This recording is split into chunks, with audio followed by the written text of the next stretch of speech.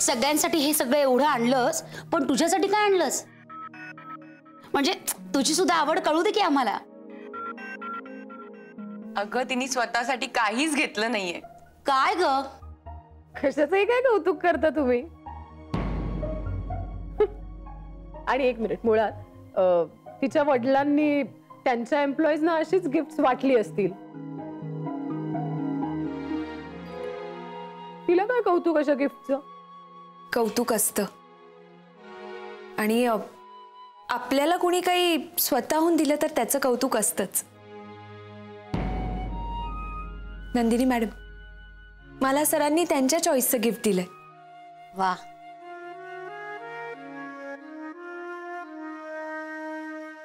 अ, पण मी अजून उघडून पाहिलं नाहीये त्यात नेमकं काय ते. सरांनी दिलंय म्हणजे काय? स्पेशलच असणार काहीतरी.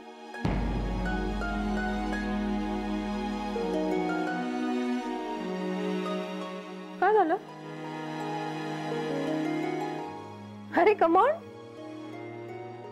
स्माइल हसा की? दिवाळी आहे. गंमत करत होते मी नंदिनी मॅडम.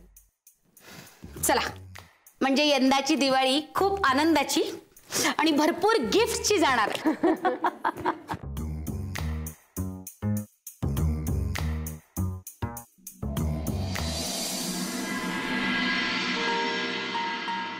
सगळे किती खुश होते ना आज ऑफिसमध्ये.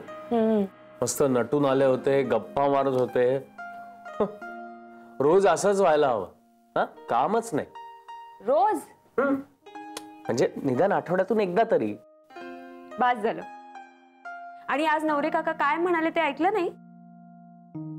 उद्यापासून खूप काम असणार आहे. हो. त्यातल्या त्यात त्यांनी आपला धर्म सोडला नाही. कामाची आठवण करून गेले. खरंय. जय. आज ऑफिसमध्ये सगळ्यांना गिफ्ट आवडले. हे म्हणजे मला थोडीशी भीती होती. कारण सर एवढ्या विश्वासाने मला गिफ्ट आणायला घेऊन गेले होते. जर कोणाला गिफ्ट आवडलं नसतं तर कुणाला काही आवडलं नसतं तरी कोणी तसं बोलून दाखवलं नसतं. अशीच माणसं आहेत आपल्या ऑफिसमध्ये गिफ्ट काय आहे त्यापेक्षा ते किती प्रेमाने दिलंय हेच पुरेसे आहे त्यांना. हो. हो काय? तुलाही गिफ्ट दिलंय ना? ते तू उघडूनही बघितलं नाहीये? हो उघडून?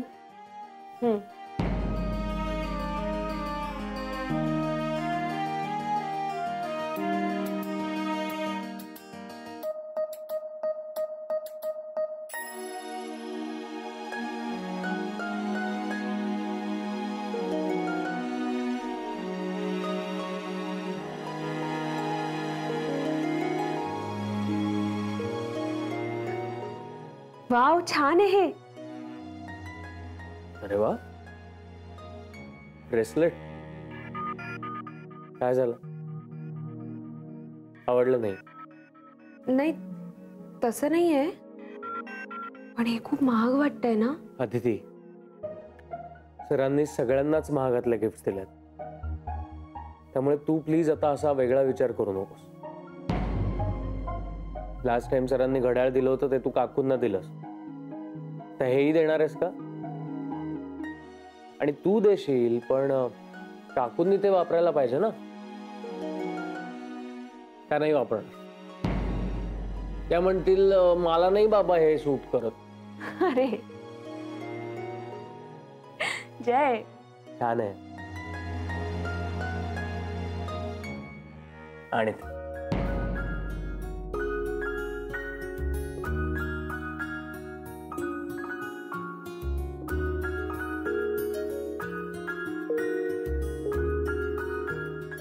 छान दिसतंय की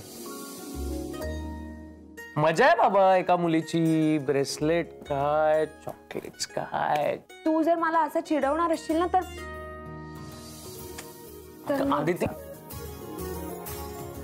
मस्करी करतोय मी हम्म. बरं ऐक ना काका काकू आणि दादा वहिनींसाठी आपल्याला गिफ्ट घ्यायचंय लक्षात आहे ना हम्म. उद्या ऑफिसवरून येता येता घेऊ हम्म?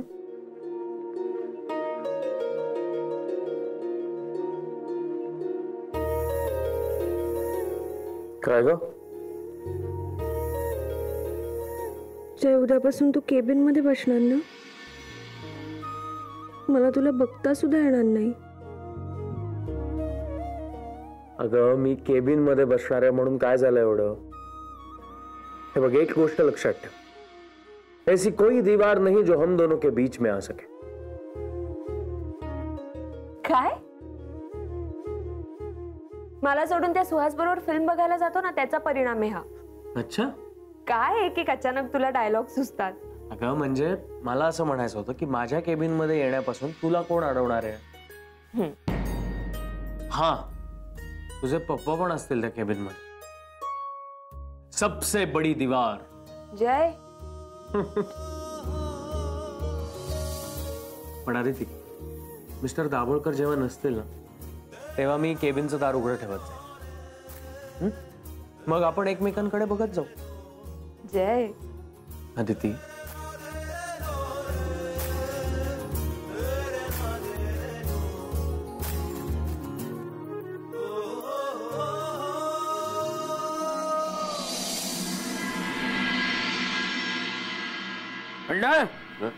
हे बघा पुरवणी झालेली रांगोळी बघा.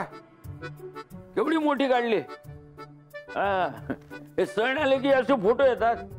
नाही तर इतर दिवशी ह्यानं त्याला मारलं तिनं ह्याला मारलं. अशानं हे पेपर रंगवत असतात बस. हो, तुमचं म्हणणं. हा, मग. झाली ऑफिसला जायची तयारी. हो. विसरला वाटतं घालायला? काय झालं? कोण? काय विसरलं? हा? काय? ते चहा घ्यायला विसरलो असं म्हणत होतो. अहो आत्ताच तर घेतलात ना?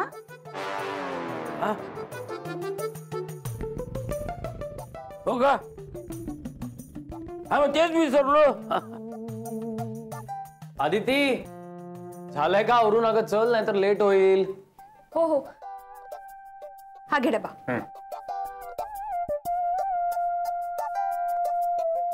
आदिती आज उशीर करून चालणार नाही हं?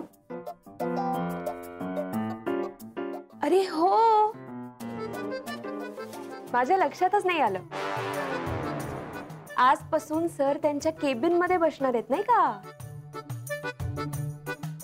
खूप घाई झाली वाटत. वा वा वा. मग लवकर जायलाच हवं काकू तुम्ही पण. या आधी मी वेळेवरच जायचो. काय गे घड्याळ काय बंद आहे काय? नाही चालू आहे की. मग मला काय असं वाटतंय? घड्याळात चुकीची वेळ दाखवली जाते ते.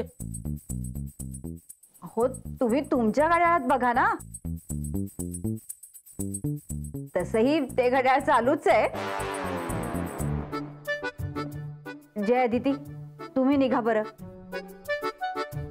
तुम्हाला ऑफिसला जायला उशीर होतोय.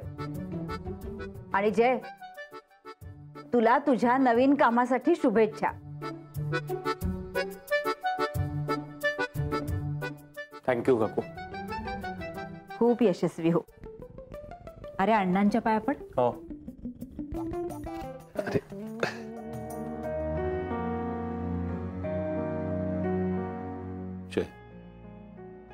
आतापर्यंत जे जे कमवलेस ते स्वतःच्या मेहनतीने कमवलेस.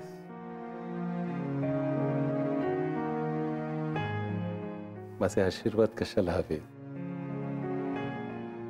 अण्णा ही अशीच मेहनत इथून पुढेही करता यावी. त्यासाठीच तुमच्या आशीर्वादांची गरज असाच नेहमी यशस्वी हो. तुझी सगळी स्वप्न लवकरच पूर्ण होतील.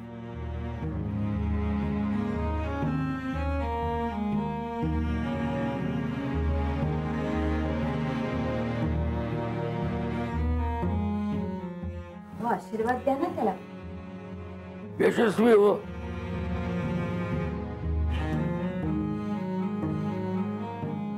येतो काकू. या.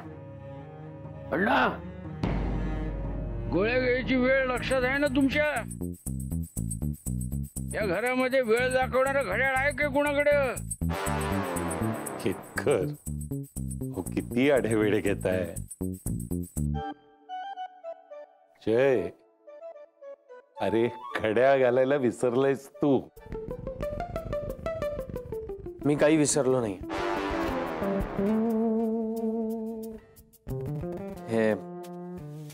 घड्याळ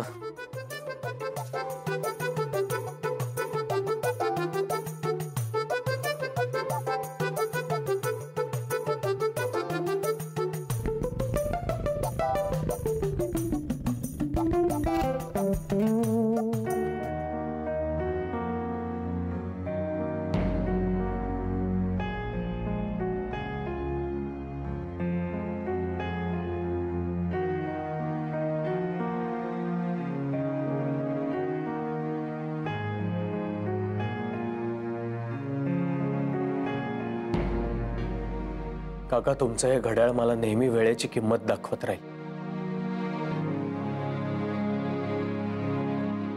आणि गेलेल्या वेळेची आठवण करून देत राहील.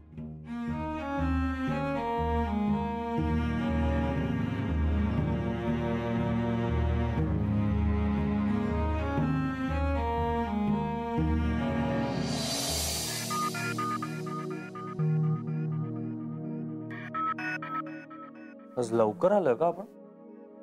आज लवकर येणं महत्वाचं होतं.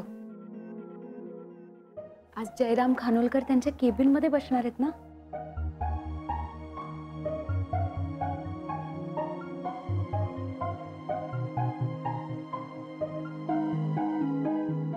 जय?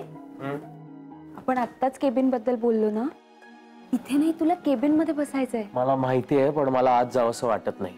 जय? मी काय करणार आहे तिथे आज जाऊन? इथे तुम्ही सगळे असता. मला कुणाशीही बोलता येतं. आणि सगळ्यात महत्वाचं म्हणजे तू असतेस इथे. माझ्यासमोर. तुझ्याशी डायरेक्ट बोलता नाही आलं तरी निदान तुझ्याकडे बघता तरी येतं. नाही माझं ठरलंय. जय असं काय करतोयस? अरे अविनाश सरांना आणि आऊंना खरंच वाईट वाटेल खूप. आणि अरे ते दाभोळकरही असतील ना केव्हा ना केव्हा? त्यांच्यासोबत केबिन शेअर करण्यापेक्षा मी इथे असलेलं काय वाईट आहे? अरे तुम्ही लवकर आलात? बरं झालं ना? म्हणजे तुम्हा दोघांना बोलायला वेळ तरी मिळाला. Good morning Nandini madam good morning good morning Nandini बरं झालं ना? आधी तिला जयशी बोलायला वेळ मिळाला लवकर आली म्हणून. हा?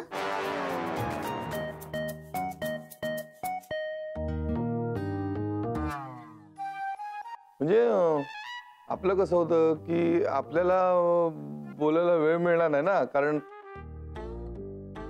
जय आता केबिनमध्ये जाणार. पण अं, आधी तिला बोलायला वेळ मिळाला लवकर आली म्हणून ना? अरे वा! तुमच्या गप्पा सुरू होत्या तर. मी पण लवकर यायला हवं होतं म्हणजे तुमच्याशी गप्पा मारता आल्या असत्या. गुड मॉर्निंग अरे गुड काय नंदिनी मॅडम? सकाळी सकाळी कसल्या गप्पा रंगल्या आहेत? अगं गप्पा नाही. हा आपला जय. केबिनमध्ये जाणार ना आजपासून. हो जय. आज खूप खुश असशील तू. जय तू बॅग डेस्क वर का ठेवलीस? मला आज जावंसं वाटत नाहीये. का? जयराम अरे प्रमोशन झालंय तुझं. हो मग मी इथे तुमच्यात बसून काम केलं तर काय हरकत आहे? अरे जय इथे बसला काय तिथे बसला काय? आणि आपण एकत्रच आहोत ना आपल्याच ऑफिसमध्ये मग? आणि जय तुला केबिन दिली म्हणजे तुझं कौतुक केलेलं आहे. मला जर केबिन दिली असते ना मी कालच जाऊन बसलो असतो. म्हणूनच तू तू आहेस आणि जय जय आहे. जय. तू बस केबिनमध्ये अरे मी येईन ना कधीतरी तुला कंपनी द्यायला. रजनी मॅडम तुम्ही त्यांना समजवताय का घाबरवताय? एक एक मिनिट एक मिनिट. हे बघ जय. प्रमोशन म्हणजे केलेल्या कामाची पोचपावती असते. चला बस तुझ्या केबिनमध्ये आणि खरं सांगू का? आम्हालाही खूप आनंद होईल. तुला खुर्चीवर बसलेलं बघताना.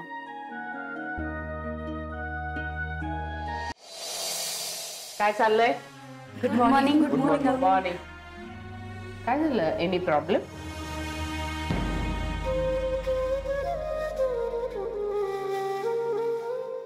Jay? इथे काय करतोयस? केबिनमध्ये नाही गेलास? घ्या. तुम्हीच सांगा आता त्याला.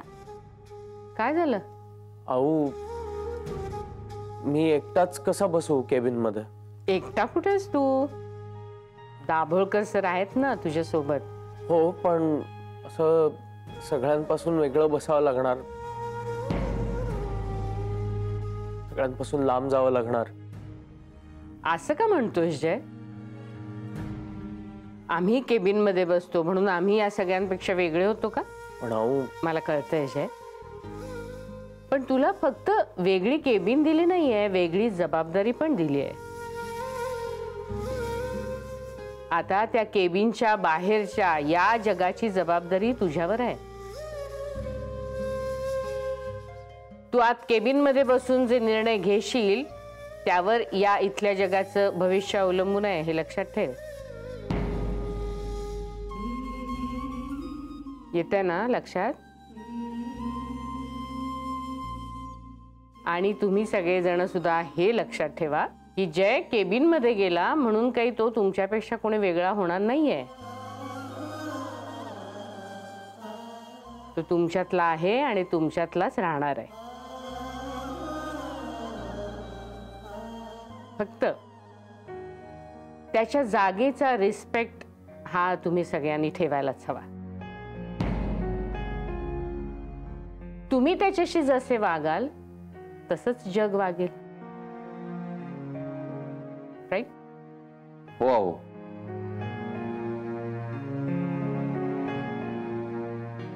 चला मग आता उशीर कशाला जय? जा जा. खुर्ची तुझी वाट बघतीये.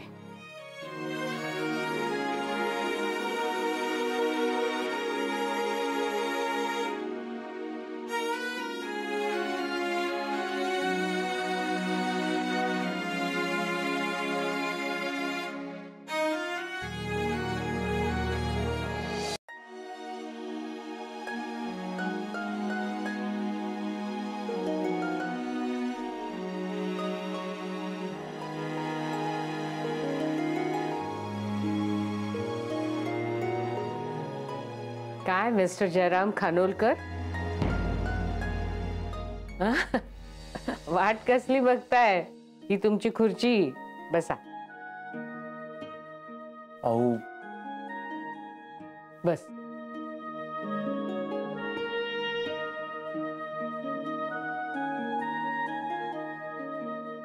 हम्म. मग? कसं वाटतंय आता? खूप बरं वाटतं. अहो मला नेहमी वाटायचं आपली एक केबिन असावी आपली खुर्ची आपला डेस्क त्यावर आपल्या आवडीच्या वस्तू. हो ना? मग इथेही तुझ्या आवडीच्या वस्तू तू ठेवू शकतोस. कारण ही केबिन तुझी आहे आणि हे डेस्क सुद्धा तुझच आहे. अहो आणखी एक सांगू? तुमच्या आणि सरांच्या केबिनमध्ये येताना नेहमी खूप दडपण यायचं. का रे एवढी भीती वाटावी असे आहोत आम्ही? नाही नाही. भीतीचं नाही. रिस्पेक्टचं दडपण होत ते. आता या जागेवर बसल्यावर ना मला जाणवत आहे या जागेचं महत्त्व काय असतं?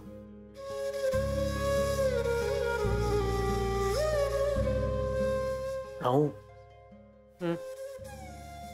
ते असं सगळ्यांपासून वेगळं बसणार असलो तरी त्यांची खूप आठवण येईल. म्हणजे त्यांच्या बरोबर बसून काम करण्याची सवय झाली ना. कळतंय मला जय थोडा वेळ लागेल तुला इथे रुळायला. पण रुळशील नक्की.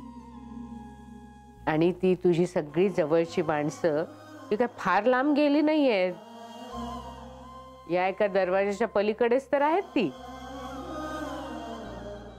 अहो हे अंतर जरी छोटं असलं तरी जबाबदारी खूप मोठी आहे याची जाणीव होतीये मला. ह्या जागेत घेतलेले सगळे निर्णय पूर्णपणे माझे असतील. त्याची सगळी जबाबदारी माझी असेल आणि त्याची झळ बाहेर नाही जाऊ देणार. जय. मी काहीही न सांगता सगळं समजलंय तुला.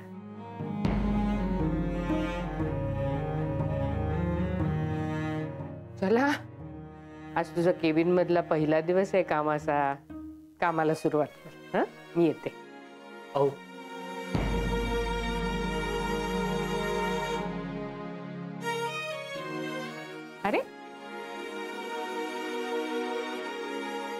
माझे आशीर्वाद नेहमी तुझ्या पाठीशी आहेत. यशस्वी हो खूप मोठा हो.